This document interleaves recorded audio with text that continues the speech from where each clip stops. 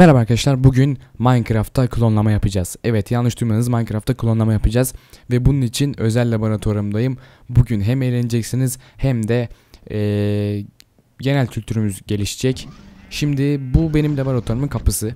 İlk önce şuradan gireyim. Burası dış kapısı. Hemen böyle giriyorsunuz buradan sensörler sayesinde otomatik açılıyorlar. Ee, burası da iç kapısı şu şekilde.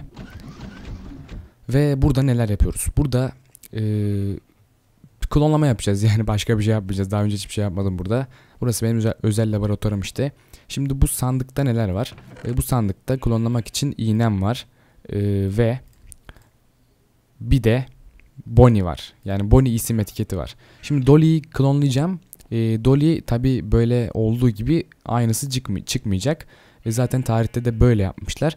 1996 yılında klonlamışlar ama nasıl klonlamışlar? Şimdi bunun e, genini alıyorlar, yumurta haline getiriyorlar ve bunun e, rahmine tekrar yerleştiriyorlar. Bu doğuruyor yani aynı şeyini tekrar doğuruyor.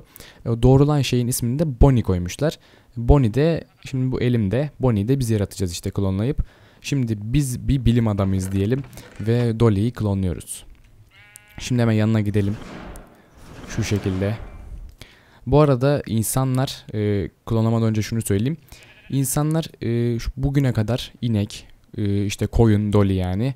E, domuz koyun klonlamışlar, inek klonlamışlar, fare klonlamışlar, işte maymun falan klonlamışlar. Birçok hayvan klonlamışlar ama insanı klonlayamamışlar. Çünkü insanı riske edemiyorlar. Çünkü e, çünkü çünkü çünkü dedim ama her şeyin çünküsü var yani gerçekten. E, hayvanlar klonlanmış ve bakılmış ki yani fark edilmiş ki bunlar uzun süre yaşamıyor. Klonlanan hayvanlar e, hem klonlanmış hali hem de kendisi yani önceki hali hiçbir şekilde uzun yaşayamıyor. Kısa bir süre kısa bir süre sonra ölüyor. Ee, bunun nedeni işte klonlanması, klonlanması yani. İnsanları da bu yüzden klonlayamıyorlar, riske edemiyorlar yani. Hiçbir insan e, klonlanmamış bu zamana kadar. Şimdi Dolly'yi biz klonluyoruz. Hadi bismillahirrahmanirrahim. 1, 2, 3. Hop bu şekilde Dolly'yi klonladık. Evet şurada klonlanmış hali var. Şimdi buna hemen Bonnie ismini verelim. Şöyle evet Bonnie karşımızda gördüğünüz gibi Dolly'yi klonladık ve Bonnie yaptık. Şimdi